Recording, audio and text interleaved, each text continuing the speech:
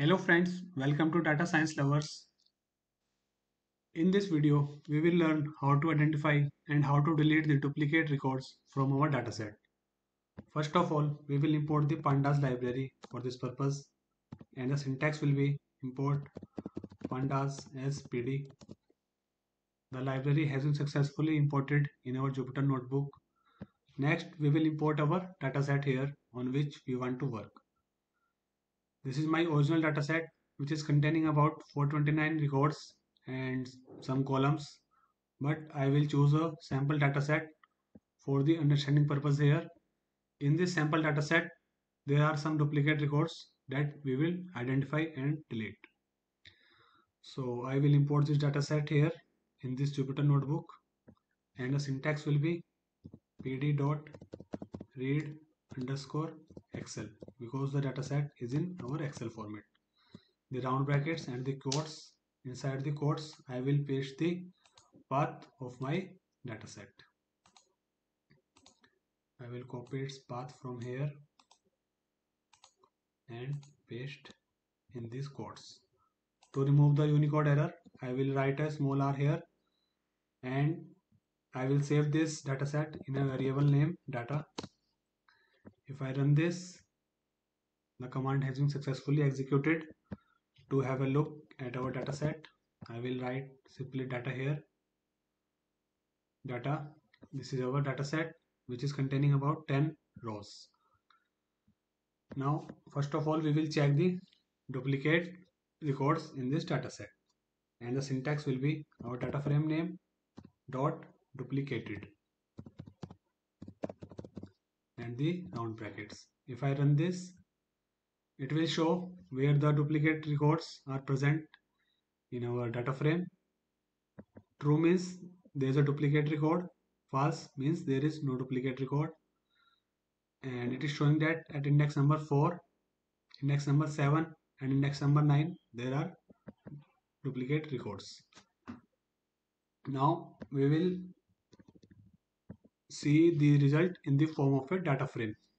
And for this the syntax will be data the square brackets and inside the square brackets again we will write this syntax data dot duplicated. Data here is our original data set. You can give any name here like data 1 data 2 my data your data anything here.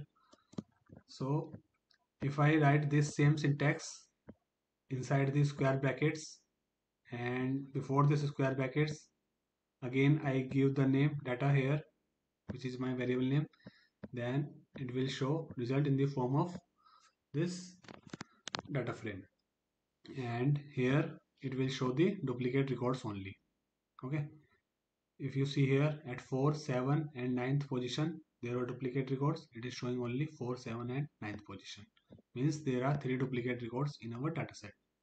Now we will remove or you can say drop these duplicate records. To remove the duplicate records, the syntax will be our data frame name dot drop underscore duplicates and the round brackets again. If I run this, the duplicate records have been dropped now.